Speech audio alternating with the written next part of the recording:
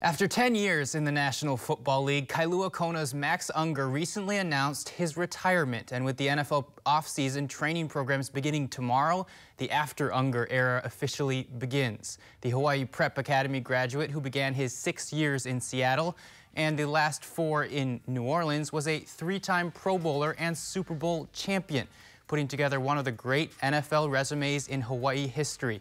But he says that it required off-season surgery and the time it would take away from his preparation for his 11th year ultimately led him to his decision to hang it up, one that he's now at peace with. Recently, Rob DeMello sat down with Unger at his Holualoa home to talk the past, present, and future.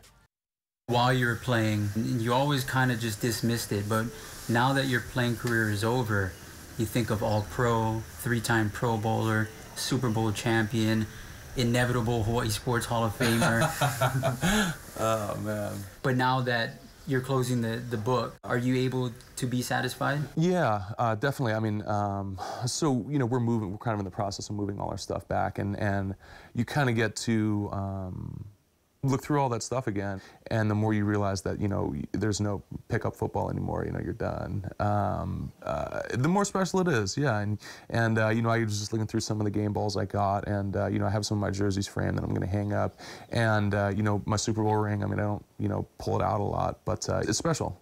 I mean, uh, it, it, it definitely is becoming more and more special. You know, I guess the more I think about it and take a step back. What's next? Yeah, I don't know. I mean, um, I'm not sure. I haven't really thought about it. This, you know, this wasn't something that you know had been planned out for a while, and so I don't know. Um, I'm gonna stay in Hawaii. I mean, I moved back here. I mean, this is gonna be home for me. I mean, uh, uh, we'll have to think about it, um, but uh, right now there's no uh, no major plans. What do you think you're gonna take from your football career into whatever the next mm -hmm. venture is?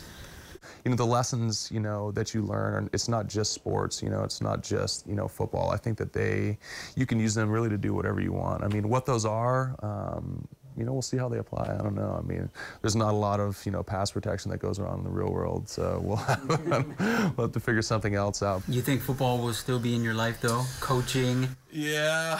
Training? Yeah, I, th I think so. You know, I, would like to coach football. I mean, I don't know.